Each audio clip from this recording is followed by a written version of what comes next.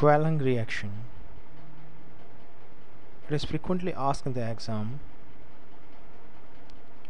It can be done directly with the sputum from acute pneumonia cases.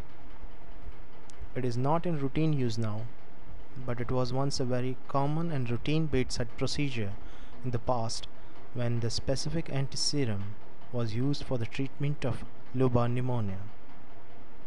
In this, first a suspension of pneumococci is mixed on a slide with a drop of type-specific antiserum.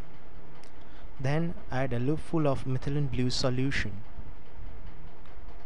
Then on microscopy, the capsule, which is usually seen as a clearing around the bacterial cell on the gram staining, appears swollen, sharply delineated and refractile.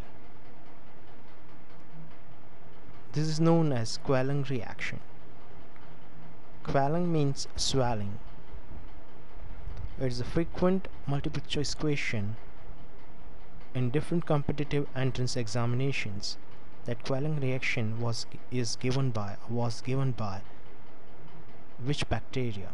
The answer to this is pneumococci. How to remember this? As you can see in the spelling of Quellung that is there is lung, quell lung and you know that pneumonia occurs in the lung.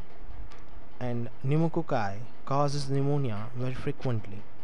That's why Quellung reaction is given by pneumococci look out for more videos more pictures and notes on www.facebook.com slash microbiology center. Thank you